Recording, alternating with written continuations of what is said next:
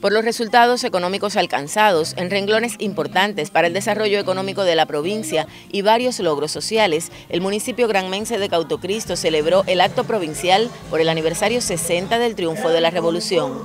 Reconocido por sus potencialidades ganaderas y en la producción de cultivos varios, el territorio también muestra en cero la tasa de mortalidad infantil por cada mil nacidos vivos, entre otros avances sociales.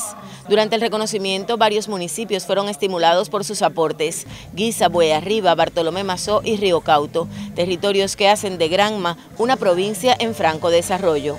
El programa Rosero avanza por el camino de alcanzar el compromiso productivo contraído con la máxima dirección del país de alcanzar 90 mil toneladas y se pronostica producir al cerrar el año 69 mil toneladas, 4 mil más que el plan para el 106%. En la producción de miel de abejas se impone un récord histórico al acopiar al cierre de año más de 1.200 toneladas.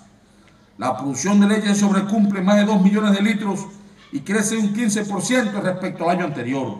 La celebración en Granma se traduce en más trabajo para el próximo año y en más compromiso con la patria. La provincia se renueva con unidades para el pueblo en el comercio, la gastronomía y los servicios. Desde Granma, Lisette Márquez, Sistema Informativo de la Televisión Cubana.